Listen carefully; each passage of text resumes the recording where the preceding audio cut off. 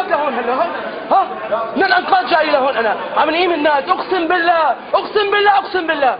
والله أنت مبقول أمام الله عز وجل بدك توقف وقفه ما بعدها وقفه لأنه مسؤول عن هدول الناس. والله العظيم يعني طلع برا شوف يا زلمة.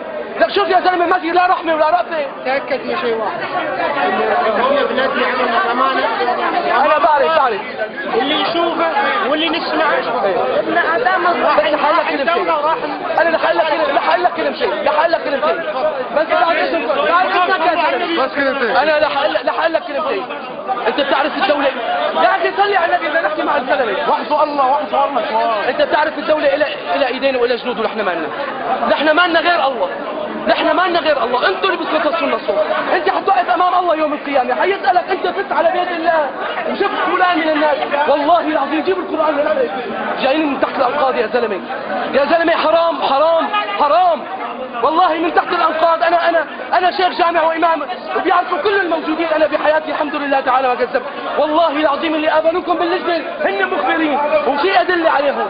والله العظيم الدولة لها أيادي لها أيادي بتقدر تحط لك إياها بس نحن ما لنا أيادي. نحن ما لنا معون غير الله وأنتم. وإذا مو قادرين تحمونا نحن نحمي حالنا سحبوا من الدنيا كلها يا ده. وحط عينك بعين الله وقول يا ربي أرجيني الحقيقة. والله الله لا يرجيك.